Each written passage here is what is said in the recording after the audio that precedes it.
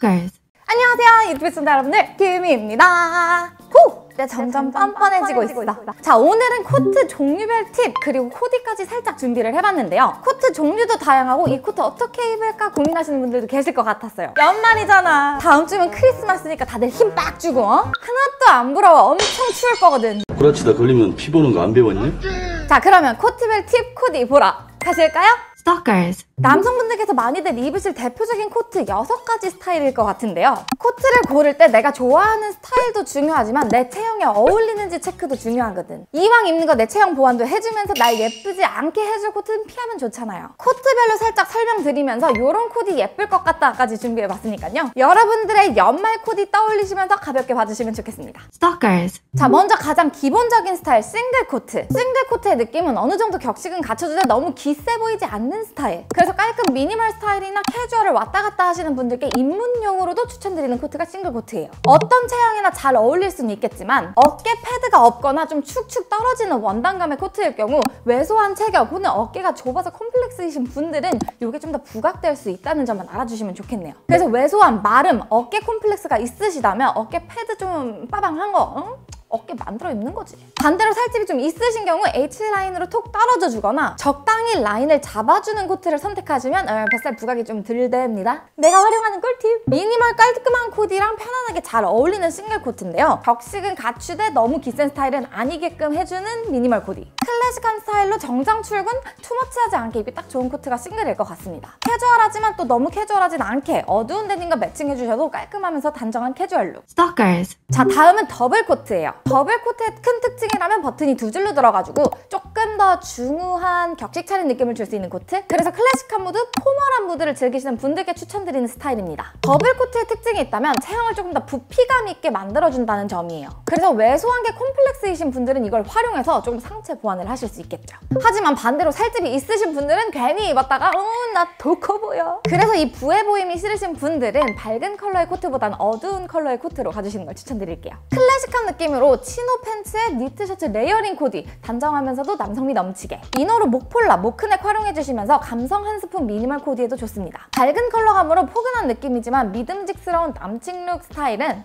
제가 좋아해요. Stalkers. 다음은 balmacaan 코트. balmacaan 코트는 스코틀랜드의 찬 바람과 비를 막아줄 그런 느낌으로 만들어진 코트라서 겉옷 위에 걸칠 수 있게끔 좀 기장감도 길게, 품도 크게, 그리고 raglan shoulder가 특징인데요. 이러한 특징 때문에 활동성도 좋고 편안한 어? 겨울 코트로 많이들 사랑해주시는 것 같더라고요. 그런데 래글런 shoulder 특징 때문에 어깨가 좁아 보일 수 있지 않나요? 원단감이 어느 정도 탄탄하고 두껍다면 이거 보완 어느 정도 되고요. 겨울에 코트 입잖아. inner로 이제 어깨 만들어주면 되는 거야. 겹겹이 좀 두껍게. 코트 입으실 때 이런 점까지 챙겨주면 참 좋아요. 콤플렉스 가리기 좋은 시즌이 겨울이라고. 아무래도 inner 옷들이 많이 가려지긴 해서 오히려 쉬울 수 있는 코트인 것 같은데 미니멀 깔끔한 코디에도 활용하실 수 있고요. daily하게 학교 갈 법한 캐주얼 코디에도 잘 어울립니다. 좀 더 디테일이 들어간 팬츠도 활용 가능하신데 개인적으로 저는 후드티랑 layering해서 입었을 때 balmacaan이 참 예쁘더라고요. Stalkers. 다음은 더플 코트. 북유럽 지방 추운 바다에서 일하시는 어부들을 위한 코트인데요. 두터운 원단과 좀 독특한 여밈이 특징인데 나무로 만든 toggle을 고리에 거는 방식. 요게 어부들이 장갑을 끼고도 이제 입었다 벗었다 하기 쉽게 만든 포인트라고 하는데 요게 또 Korean으로 떡볶이 같은 느낌. 떡볶이 딱 그래서 저희는 떡볶이 코트라고 부르기도 하죠. toggle이나 후드가 주는 뽀짝한 느낌 때문에 호불호가 갈리는 스타일의 코트이긴 하지만 저는 개인적으로 좀 남성미 넘치는 분들께서 떡볶이 입었을 때 완전 매력. 개인적으로 넉넉한 실루엣, 활동성 좋은 편이라서 스타일만 맞으신다면 더플 코트 너무 예쁠 것 같습니다. 대학생 look, 캠퍼스 look에 너무 잘 어울리지 않아요? 파릇파릇 진짜 돌아가고 싶잖아. 밝은 컬러, camel 컬러 더플 코트는 포근한 느낌이 배가 되는데 cable 니트랑 더플 코트는 너무 예쁜 조합이죠. 하지만 진짜 반전 매력 look은 깔끔 클래식한 코디에 얹어주면 되는데 진짜 이거 막 설렌다니까? Stalkers.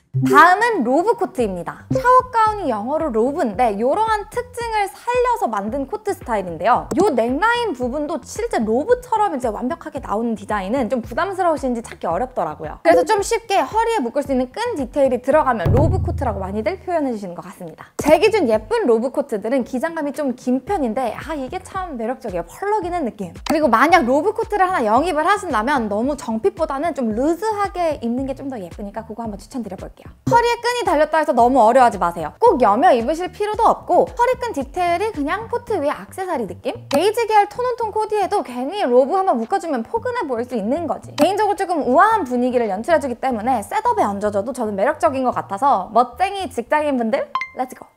Stalkers. 마지막은 하프코트입니다. 하프코트는 이름대로 절반 기장감 정도예요. 짧은 코트들. 대표적인 예시로는 피코트가 있죠. 피코트는 유럽 해군복을 모티브로 바닷바람을 막아주기 위한 울 소재 그리고 과격한 움직임에도 편해야 되기 때문에 골반 정도까지 오는 기장감. 그래서 롱코트보다는 하프코트들이 활동성이 진짜 좋긴 좋아. 하지만 하트가 좀 시릴 순 있어. 저는 하프코트의 경우 키 작는 분들께 하나쯤 추천드리는데 롱코트가 내가 상상하던 그 롱코트 그 맛이 안 나올 때가 있잖아요. 그런 날 하프코트를 입으면 내 비율이 괜찮아 보입니다. 경험담이에요. 제 주변엔 하프 코트를 입으시는 분들이 많지 않더라고요. 그래서 오히려 잘 소화해주면 눈이 가 formal minimal look에 얹어줘도 예쁘고 캐주얼 look에 입어주셔도 전 좋더라고요 만약 입어주신다면 우리 네이버 카페 보는 건 죄가 아니잖아 나도 보여줘 Stalkers. 자 이렇게 해서 여섯 가지 스타일의 코트 뭐 약간의 팁 그리고 코디까지 보여드렸는데요 이 영상 보시고 다들 연말에 행복 해라? 그거면 난 됐다. 자 그럼 저는 이어서 조금 더 센스 있게 좀 패션 좀 아는 척 할 수 있게 입을 수 있는 layering 꿀팁들도 담아오도록 하겠습니다. 그럼 안녕! 기획자가 써놓은 멘트대로 하면요. 음, 다음, 영상도 만관부. 아 쫀디 더 올드해